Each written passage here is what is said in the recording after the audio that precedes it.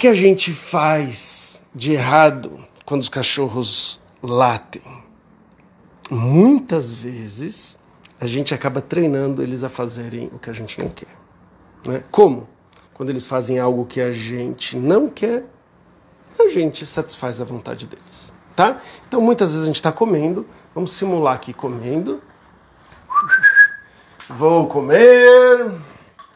Total, pegar uma coisa gostosa. A estopinha adora um ovo, né? Então vou pegar um ovo. É. Então tá aqui. Vamos lá. Aí eu estou tentando comer. E aí meu cachorro faz cara de pidão ou ele começa a latir.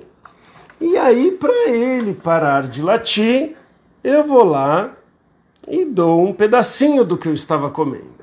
Vamos ver mais ou menos como funciona. Eu vou ter que morder isso aqui, porque está muito grande, eu quero usar várias vezes. A estopinha fica morrendo de medo de eu comer os petiscos dela, porque às vezes eu como. É. Ó, então tá aqui.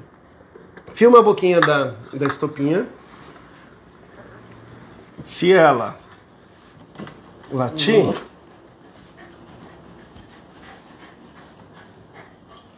Bom, vocês viram que ela latiu. Aí eu vou lá, latiu como? De forma silenciosa, né? Para depois a gente poder dublar e não atrapalhar o, a voz quando ela faz um comercial. Vocês acreditam que ela aprendeu a, a latir sem fazer barulho? Vamos ver de novo.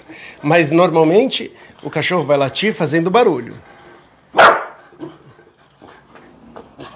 E aí a gente vai lá e dá o que eles querem, né? O que, que acaba acontecendo? A gente está treinando eles a latirem.